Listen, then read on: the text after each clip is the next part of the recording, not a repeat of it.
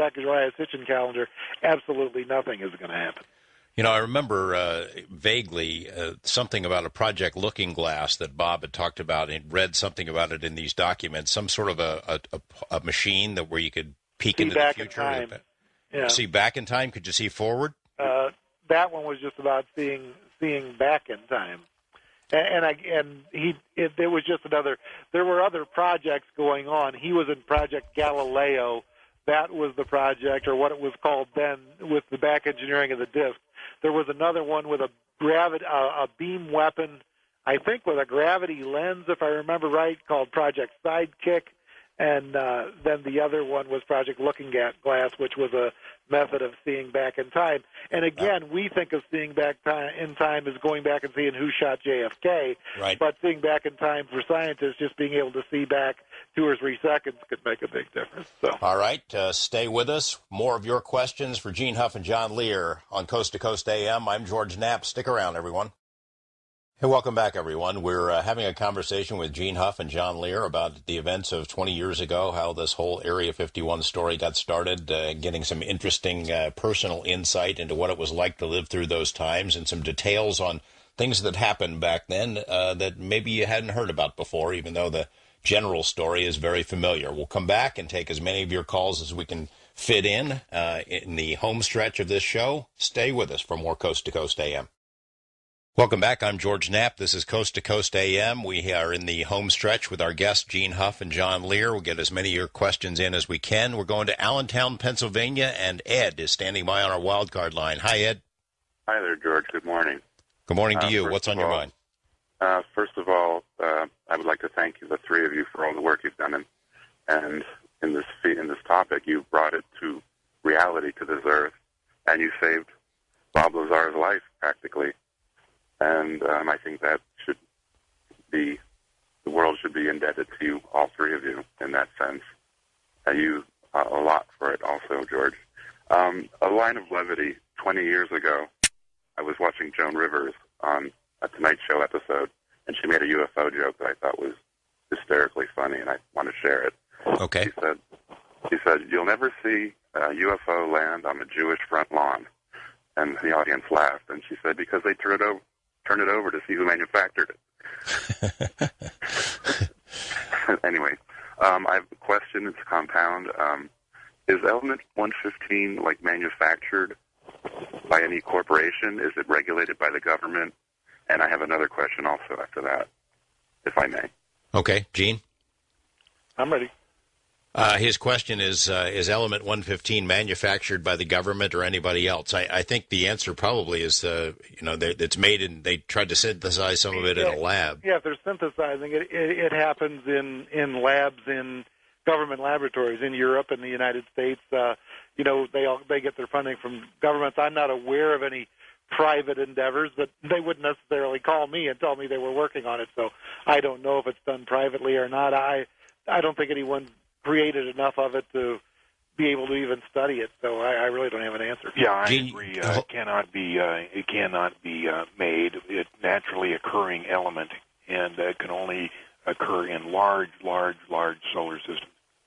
Uh, Gene, wasn't there a time when some one of these labs, these heavy ion labs that you referenced earlier, they were contacting Bob for information about 115, even though you know he's a non-scientist and a phony and all that stuff in the view of a lot of people. Yeah, some scientists from Germany, they had about a hundred page formula, literally a hundred pages of a physics formula all about 115 and uh you know it it was it was gibberish to me you know i mean i you know i was i was lost i i, I joked I, if i had told bob I, if i were him i'd put times zero equals zero at the end of it that's how complex it was Is there a And, uh, second? I'm sorry. Go ahead. and uh, but anyway, uh, yeah, there there are there are people there are people who firmly believe there's an island of stability, and certainly with isotopes that there will be uh, that that uh, heavy stable elements do occur elsewhere. Uh, it's just like John said before, the amount of energy, the cost to synthesize it would exhaust the planet. I mean, it'll, it'll never be synthesized in any quantity. What was the second question? Is that caller still there? Guess not. West of the Rockies, uh, Jeff in California. Hi, Jeff. calling from Albion, California, and listening on KKOH 780 AM, uh, home of Ross Mitchell out of Reno, Nevada. And uh, John, I'm curious as to how you came up with the infamous John Lear test and how much of that Bob Lazar was attributable to that. And also, what was your um, opinion of Art Bell's response to that in, in regards to whether he would reveal that as a public official on the veracity of those issues brought up in that John Lear test? Well, actually, it's just something I wrote up based on information I had. What I'm going to have to do is write Disclosure Test 2.0 to bring it up to date with things I have learned since then. What's the John Lear test, John? I don't even know. That was a, a disclosure uh, test that I gave to Art Bell several years ago, and it's all over the, the net. It's based on what I thought was going on, and a lot of it was true, but a lot of it uh, was not. And I, like I say, I've got to relate. I've got to write the uh, disclosure 2.0, which I haven't gotten around to yet. All right. Well, look forward to reading that then. Thanks for the call. We're going to go to our first time caller line, Thomas in Michigan. Good morning, Thomas. Uh, good morning, gentlemen. Gene, you were um, asking about um, connection with God. If you took a look at the book of Psalms and realized that it's a timeline that has been describing events at a rate of a chapter per year for the last hundred years, I think you'd catch on. Take a look at uh, Psalm 74 where it talks about Leviathan. It was in that year that we get raised the Russian K-129 diesel submarine, which sank in 68. That thing is the Leviathan. And you take a look at Psalm 68, the chariots of God. He's talking uh, about vehicles coming back here to uh, basically stop a war. Those were the year we sank that submarine. We uh, had missile disruptions throughout the entire uh, United States as Russia because uh, they were getting too close. Well, if that makes that? sense to you and you're at peace with it, then you're you're a lucky man. Okay, well, I think it would be very helpful because, uh, yeah, the Psalms work as a timeline. They explain everything that's going on. We have 9/11 in there. We have the 91 Gulf War in there, World War II, Holocaust, the atomic bomb development in uh, 1945. All the things that you're talking about are being explained to you right out of there.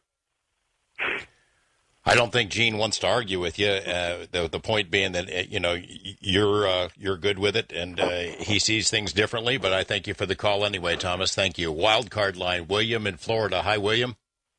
Good morning, gentlemen. Morning. My question to uh, all of you, I don't know if it would have come better at the beginning of the show, or maybe it's more appropriate at the end. Uh, for years now, as I've, I've observed ufology and the fascination with flying saucers, I always go back to what's referred to as the original flying saucer sighting by Mr. Kenneth Arnold uh, around Mount Rainier, Washington, June 24th, 1947. Um, Mr. Arnold made a comment saying that um, described a boomerang-shaped object that skipped like a saucer, but did not look like a saucer.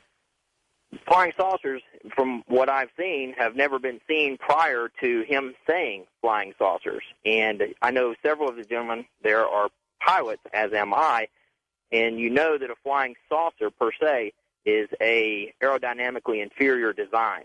Um, if it was a, uh, a good design and it would work aerodynamically, the space shuttle would probably be a flying saucer. I'm very interested in your response to that, and in your opinion, is all this flying saucer stuff, for lack of a better term, um, could it be based on misinformation from the very beginning, from 1947?